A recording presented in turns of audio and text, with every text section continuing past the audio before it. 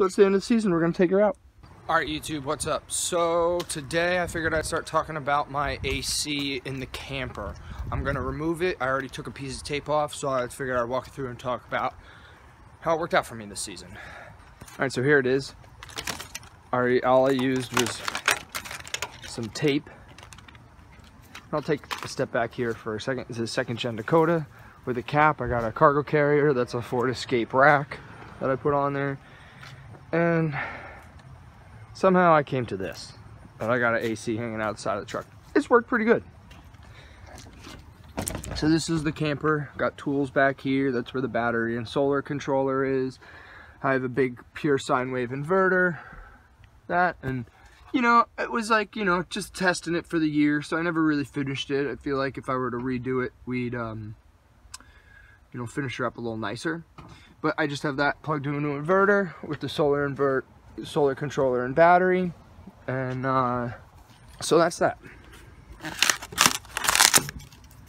Just opened the window, insulated it.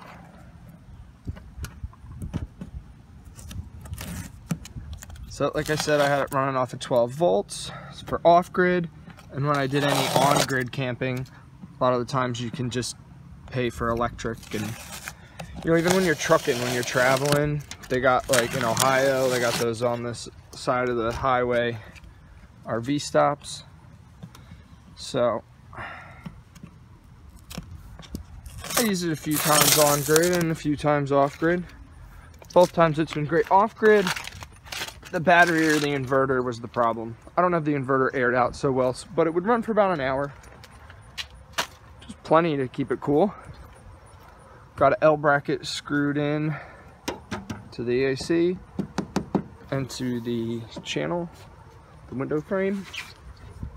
And I did about 4,000 miles, rough estimate. I went to Indiana with it. I'm starting in New Jersey and I went down to South Carolina with it. So it's a lot of miles.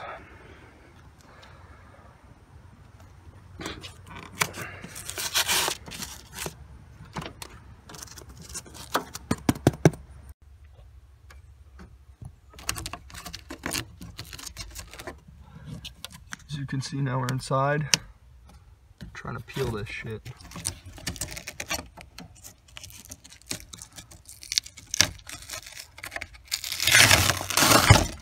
That sucks. My Velcro was on top of the uh, tape. So that's it, it was just taped in. It did leak a little water, like I said.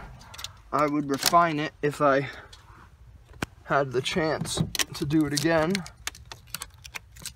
and I think that would be next season. I'd probably use silicone, which would make removal a little harder.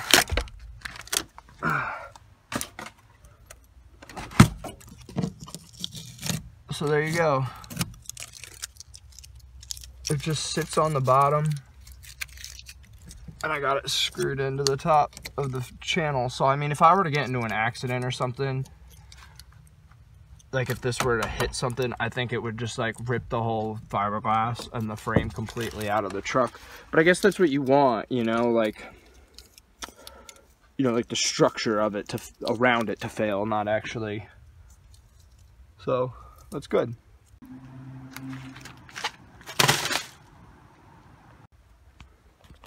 So this is the inside of my camper and you know, it's it's not what I would pick, but uh, you know, the saying is no ca camper or RV is perfect for you. So this is the truck I have. This is the truck I worked with. I always wanted to build a van, but I had a truck. So, you know, if you ever wanted to build a camper, I'd say just use whatever you have. Welcome to my, it's really like a bed more than a camper. But I, one, uh, one of the uh, trips this year, I used it eight days in a row. So that was pretty cool. I've become pretty comfortable in here. I don't know if I'd live in here. That's a bit tough. But, uh, yeah. I mean, like, subscribe, and, you know, do all the things. Van life, baby.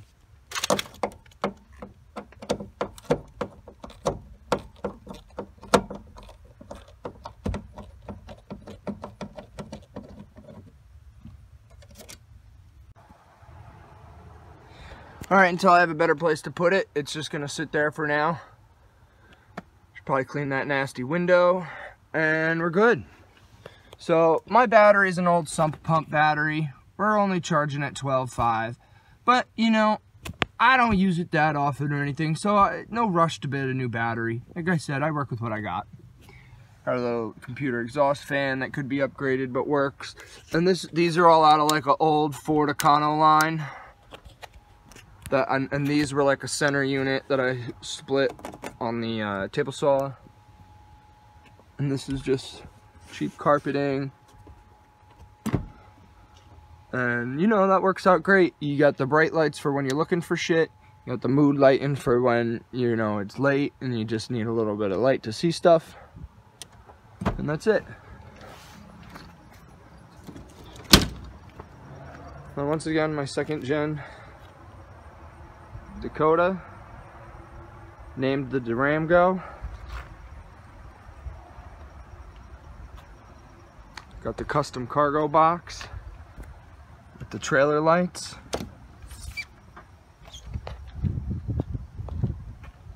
And three amber runners. We got a little bit of rock crawling light shit going on on this guy. And yeah. She's hooked up to the trailer right now, so she's squatted. I uh, parked it a little too close. So that's it, that's my rig. Thanks for watching. And uh, if you got any questions about the camper, let me know. Peace out. I forgot to mention, uh, it's got stupid ass tow mirrors that are great. You gotta drill the door for those. And then this is my 100 watt solar panel. I wanted it to sort of appear like a um, sunroof. And I believe it's 100 watt, flexible. I just got it on there with 3M tape. And just like the air conditioner, I think this has done more than 3,000, 4,000 miles. So I, you know, you worried about the glue coming off or something. I think water gets under there, so I'll probably have a rusty roof. But, oh well. Anyway, that's the Durango Dodge. Hashtag.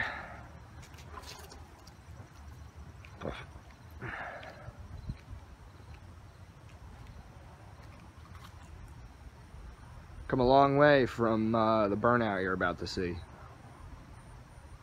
Or something.